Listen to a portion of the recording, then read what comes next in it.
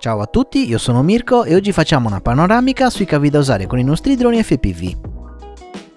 I cavi infatti sono una componente fondamentale quando si assembla un drone e il fatto che ce ne siano di diverse misure può creare confusione a chi si avvicina per la prima volta a questo hobby. Prima di vedere nel dettaglio le varie misure, vediamo quali caratteristiche devono avere i cavi. Prima di tutto il rivestimento deve essere in silicone, tutti quelli che vedete qui, dal più fine al più grosso, sono rivestiti con questo materiale. Il rivestimento del cavo deve essere in silicone per due motivi. Il primo è che questo materiale resiste alle alte temperature. Come vedete infatti abbiamo stampato sul cavo il valore di 200 gradi. Se usiamo invece altri materiali è molto probabile che il rivestimento si squagli mentre stiamo saldando il filo. Il secondo motivo è che i cavi in silicone sono molto più morbidi e si piegano meglio. Questo è un grosso vantaggio perché di solito lavorando in spazi molto ristretti riusciamo a gestire meglio tutta la moltitudine di cavi che sono presenti nei nostri droni. Vediamo ora nel dettaglio lo spessore dei cavi. Questo è indicato da un numero più la sigla AVG. Più piccolo il numero, più i fili saranno grossi. Per i droni FPV utilizziamo cavi che hanno un range da 12 a 30 AVG. Ho diviso la scelta dei cavi in tre macro categorie, connettori XT60, esche motori, VTX, riceventi ed in generale tutte le periferiche che colleghiamo al flight controller. Partiamo con i connettori XT60, la scelta è tra 12 e 14 AVG. Di solito usiamo la sezione più grossa da 12 AVG per i quad ad alte prestazioni, anche se 14 AVG a mio parere sono più che sufficienti per la maggior parte degli usi. Il vantaggio dei 14 AVG è avere un cavo più semplice da gestire, che a seconda delle build non è una cosa da sottovalutare. Voi scegliete tra 12 e 14 a seconda delle vostre esigenze e di quello che ritenete sia meglio per il vostro drone. Passiamo ora ad esche motori.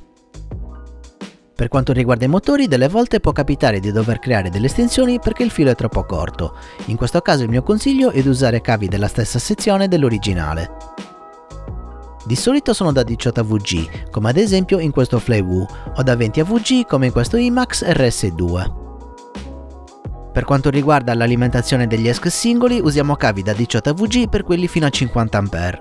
Ad esempio questi T-Motor da 35 A hanno dei 18 AVG. Per ESC più grandi, come ad esempio questi Teco 32 da 60 A, usiamo cavi più grossi da 16 AVG. Passiamo ora ai cavi più fini che si trovano nelle VTX, videocamere, riceventi, cavi segnali degli ESC e così via.